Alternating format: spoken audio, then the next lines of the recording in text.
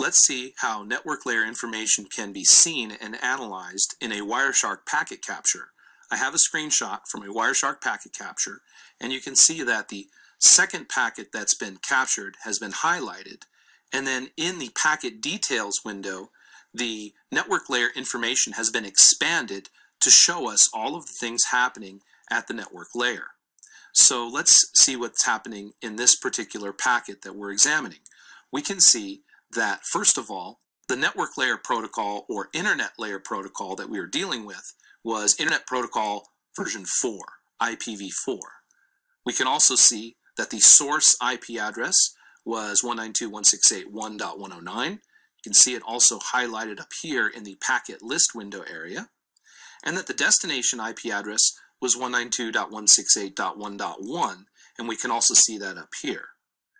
We can see that at the higher layer, this is a TCP protocol packet, but if we limit ourselves to just the IPv4 fields or the IPv4 information, we can see the different types of control information that's contained in every IPv4 packet.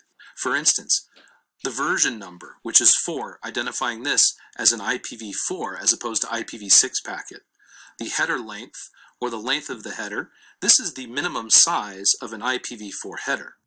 The differentiated services field, which is used for packet prioritization and is useful for uh, applications like voice over IP, the total length of the packet, the identification number, which is used for fragmentation, the flags, you can see that the DF bit has been set, which stands for don't fragment.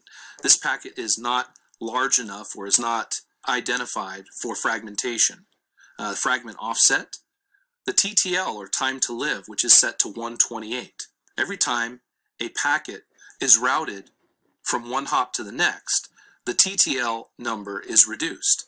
When the TTL number reaches zero, the packet is dropped, ensuring that packets don't circulate on the internet forever on an endless loop. The TTL value is also used in ICMP trace routes and pings. The protocol field lets us know the type of information to expect in the data portion of the packet. A 6 identifies the data portion of this packet as being a TCP packet. The header checksum field, which allows routers to check to see if there are any errors or inconsistency in the IP header. If there is, the packet will be dropped. And then lastly, the source and destination IP addresses, which are the most important part of the IPv4 packet. Let's take a look at two more screenshots of Wireshark packet captures, and we'll see some similarities and differences.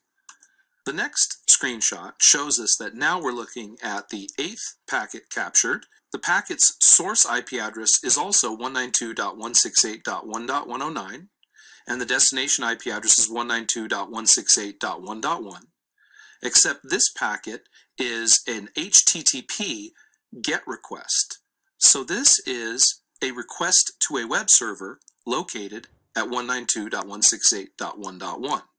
You can see that the network layer or internet layer information has been expanded, that it's also the IP version 4 protocol, and that we have similar information in the different fields. Notice under the total length field that this packet is 411 bytes compared to the previous packet which was only 52 bytes. You can tell that this packet has a lot more information or is a much larger packet than the previous one. If we look below the Internet Protocol version 4 information, we can see the TCP information and then below that, that there's Hypertext Transfer Protocol or HTTP protocol information in this packet as well. I'll move forward to the next packet and you can see that this packet is the 16th packet captured right up here. It's also from host 192.168.1.109 to host 192.168.1.1, except this is the ICMP protocol. You can see from the information in the packet list window that this is an echo or ping request. If we look in the Internet Protocol version 4 information in the details area, we can see some minor differences. The version is still 4, the header length is still 20 bytes, but we can see that the flags are slightly different, and that the protocol field is now set to 1, indicating that the data portion of this packet is an ICMP protocol message. Notice that in the details window at the bottom here is an expanded area to look at the header information specific to ICMP.